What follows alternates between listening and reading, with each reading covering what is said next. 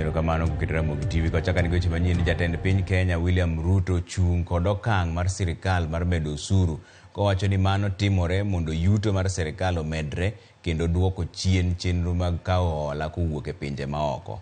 Owacho ni sirikal dwa ting'o malo yuto mar osuru koa atamalo apar gang'wen nyaka atamalo apar gauchiel kachop giko higani. Ruto omedo ni kata obedo ni okang' ma kamano nyalo kelo pek ne jopiny sani, ber to biro biro e kinde manyime ka.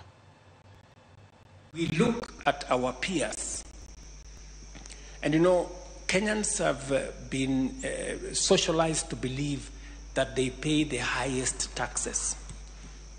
But empirical data shows Kenya, as of last year, we were, our tax as a percentage of our revenues was 14%.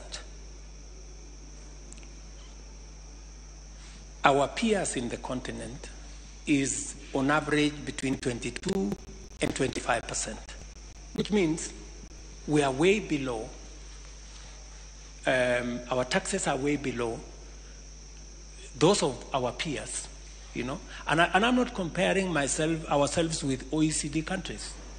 You know, countries like France are at 45 percent, you know, others are higher. So I, I persuaded and I made a case to the people of Kenya that we must begin to enhance our revenue. Because if we are a serious state, we must be able to enhance our taxes. So my drive is to push Kenya Possibly this year we will be at 16% from 14%. I want in my term, God willing, to leave it at between 20 and 22%.